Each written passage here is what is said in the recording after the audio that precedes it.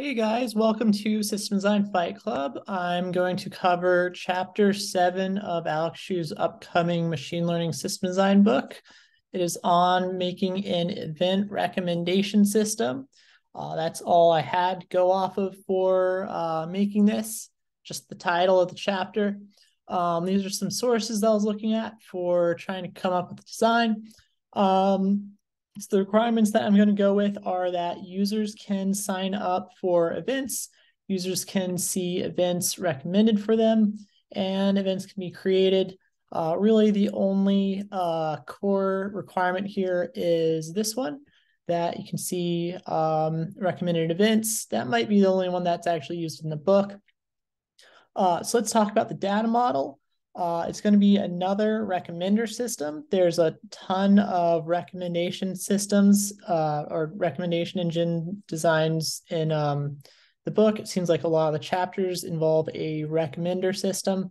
Uh, this one will be collaborative filtering, I believe. Um, those can either be item-based or user-based.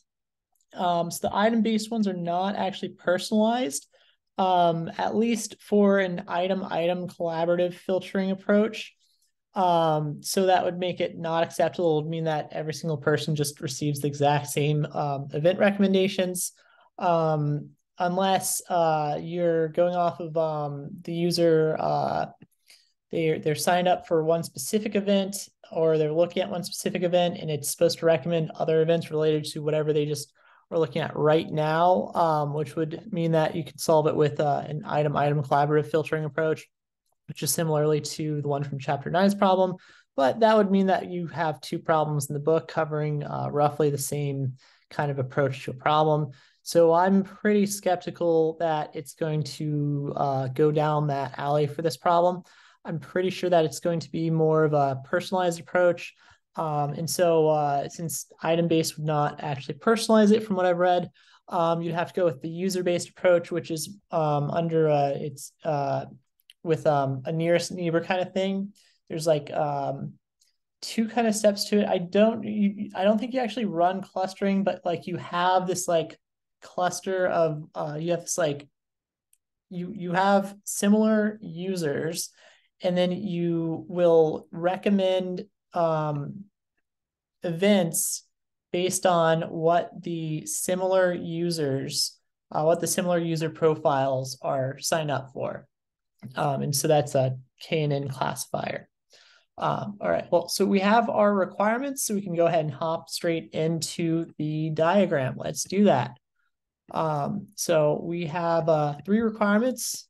We're going to have um, that uh, users can sign up for events we're going to have that users can um, add events um, and we're going to have users can view um, recommended events. So we have here user uh, signs up, up for event. We have user um, adds event, and we have user um, use an upcoming event. This is where they're going to um, get recommendations of other, or um, I, it's it's um. So I imagine this is kind of like Facebook events that you'd be on this like events page. Um, let's just maybe say uh, user viewing um, event uh, recommendations. There. Okay. Um, so when you sign up for that, you're going to record that in some kind of database for the events you'll be attending. You'll have a events database. Let's go ahead and start with this one. So we'll have an event creation backend service.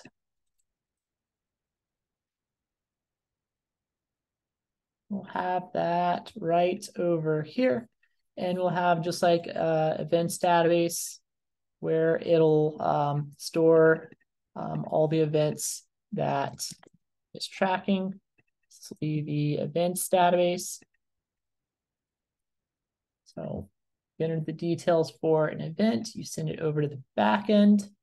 From there, it goes to the database. database is like, all right, 200 success. I've got your event. And then that returns the client. Yep, it's created. Okay, and then um, when you're signing up for an event, let's say that you have an event sign up service. So we're gonna have an event sign up service and we'll have um, an event attendance database. This one is just kind of an event and the details for it as opposed to a, uh, a, a recording all the pairs of um, events to the um, users that will be attending. So this will be like an event attendance database. Uh, let's maybe talk about the schema for that one really quick, just because it might be a little bit confusing. And. So we will have the user ID. They can be signed up for multiple events. Uh, we'll say that their user ID is 3470. So for example, one of the events that they might be signed up for might have the event ID of um, 5672. Okay, and um, you might pull up a page that would be a key range query for all the events that you're signed up for. So I'm thinking that the partitioning key should probably be um, this one. We'll make this one the partitioning key. Oh, come on.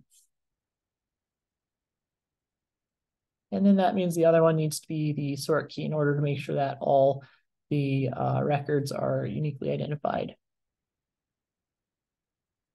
And uh, so together they form the primary key for our database. Okay, let's get some arrows on there. So you have a user, they see an event, they want to sign up for it.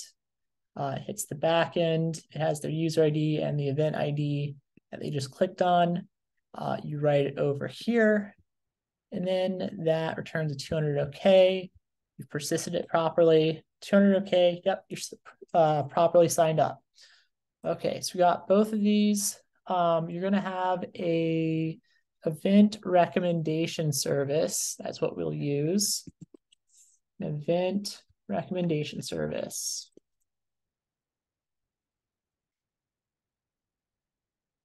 Lots of longer names in these problems. Or I've gotten worse at naming things. Let's give it a little more space. This is going to get crowded similarly to chapter 10 and 11 solution. Um, and uh, this is going to, so you have your user ID, you're pulling up the page for event recommendations. Um, so first it's going to retrieve some events, and then we're going to go ahead and rank those events. So first we're going to do the um, event retrieval service. This could be merged with um, the uh, recommendation service. We'll see how it plays out in the book. There's plenty of different ways to do it. I really don't think any interviewer would actually care one way or the other. Um, it, it seems like in interviews, services tend to go a lot more micro. Um, yeah. Then we have the event ranking service. So you have your user ID that you are sending over there. Let's go ahead and actually just mark that sending your user ID, and then that goes over to here. Got your user ID, and then we're going to find, um, it's just like events in your area. Um, so like, for example, if you're in the United States, it would not return uh, events in Brazil. It would assume that you uh, will not be um, willing to uh, you know, spend um, a thousand dollars just be on a uh, in an event in some completely far away country. Um, I mean, if it, if it didn't filter by geolocation, you'd be returning all the events. So it would most you, would probably just want to go ahead and just return stuff in your geoshard. Um, and so now we have a list of um, events that are filtered under some just um, normal settings. Um, and then we're going to return that over to here. Okay. And then we're going to have the event ranking service. We're going to send the list of events over there to get uh, ranked or filtered further. Just, um, I don't know if it's like one top event that it's supposed to return or if it's like ordered events or um, yeah, but uh, you'll send it over to an event ranking service. Uh, and that one will have a data model, a data model for it. Um, and then it should return um, events meeting some threshold value after it runs properly. Uh, and we'll dive into that more in a second or a minute. Events um, meeting some threshold value uh, filtering it. And then we're going to return the response over here of those um, filtered events. So we have the data model there. Um, and so we are going to use a, so it's going to be KNN. Um, I might not have dug into that a whole lot. So we're going to be doing user-based collaborative filtering, nearest neighbor, um, given similar users, what did they like? You're, you you might like it as well. Uh, so KNN classifier. So it's a classifier. We're gonna have to train it. Um, so we will need to do some training of our data model. Um, so we'll have uh, model training workers. Here. Okay, and we'll need a data warehouse where we are getting all of our training data. Uh, yeah.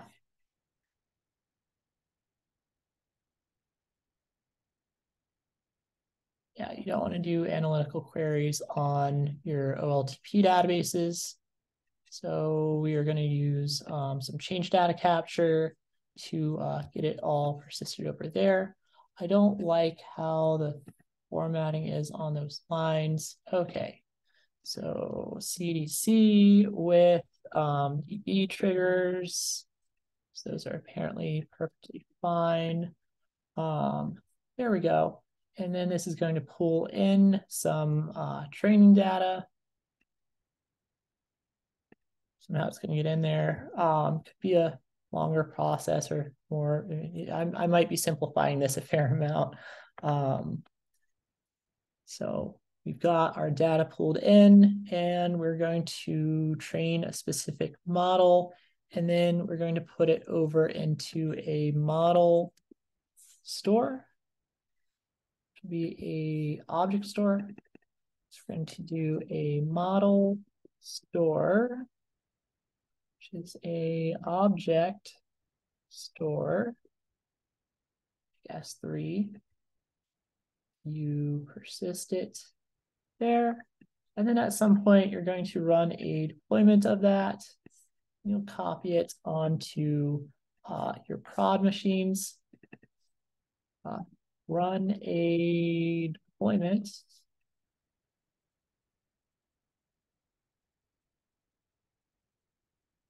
Okay, close enough.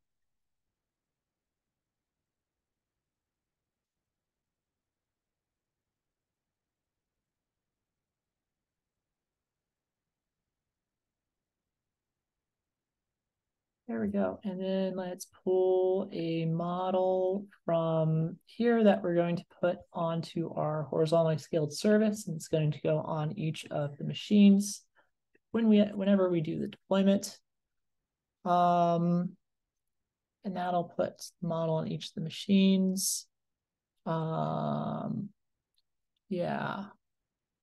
Want to do, want to see what the input and output is of our data model. I was very annoyed that sources online were not super clear about that. And sometimes the um, exact data format of it and what exactly it's using was not super clear. Um, so I don't want to be the bad guy like them. I want to actually make this a little bit more clear. I want, um, so you'll have a user ID and then it'll return the score of an event.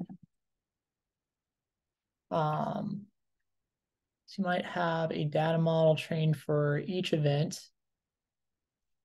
So you could even have this, uh, you could have like multiple um, worker uh, clusters set up, each with a different events um, classifier uh, that's trained.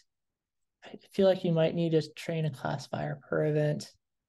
Um, because I don't think it can you can train it to do multiple independent so so there's there's a difference between multi-class and like multi-task class where each class is independent and this is where it would be each class is independent um so you would have like a list possibly of multiple events that would um meet the threshold or something or um you could order all the the the outputs if it's um, a value between a, a, range of like zero and one or something like that.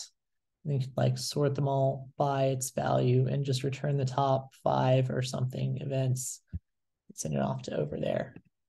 Um, I was doing that thing with the square too. I've seen this a little bit online, and so I also want to do this for clarity is that we're kind of taking an approach where it's the rows are users or how we're training it. And then the columns are um, user uh, features, an event as the classification um, class. So um, that's that's the the training feature, the, the thing that you're targeting is accurately predict the whether the event is whether they're signed up for the event or not. Um, this could have some skew on it, and so you might need to like downsample one side or the other, or you might be targeting um, just a uh, that's something that definitely needs to be in um, the book somewhere. I'll go and have it. Go ahead and write it here. Is that um, it's really important to cover um, performance measures. Um, so some important terms for that is, well, so first of all, uh, confusion matrix, which is for um, false positives versus uh, false negative rates. Um, depending on what you're targeting, um, you either want to target one versus the other. For example, with credit card fraud, you really do not want to have any fraud go through it's okay to deny people um, being able to use their card uh, incorrectly, as in like you're you're like not letting them use their their card when they're um, actually good to go and they're they're the proper user and they're not committing fraud. It's okay to have a, a, a mistake made there, and then they just have to use one of their other credit cards. But um, if you let fraud go through when it shouldn't go through, uh, that's a bigger deal and that's a huge loss. So uh, depending on on the problem domain, you're okay with one versus the other. And then there's different um, there's different uh, performance measures to kind of describe that. Is that um, there's um, accuracy, I think.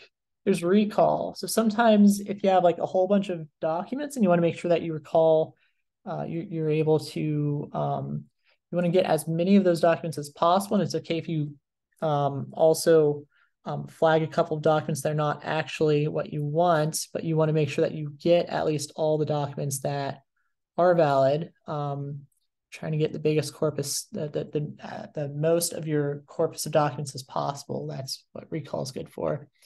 Um, precision might be one. I think there's like F1 score or something. Um, yeah, there's like a couple of different performance measures. I'm not on top of it right now. I think um, Scikit-learn is probably a really good resource for um,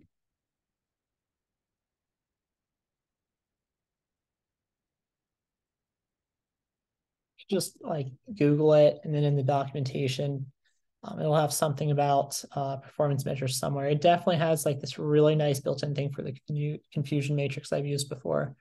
Um, I'm not on top with the longer list of uh, performance measures right now, but that definitely needs to be in the book is um, performance measure coverage.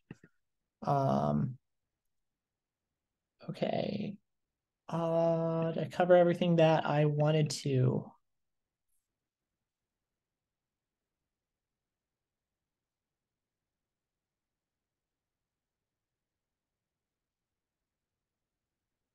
Think so. I think we're good to go. Um, yeah, so this was chapter seven of the upcoming book, event recommendation system. Uh, thanks for watching. Uh, I'll see you guys next time. See ya.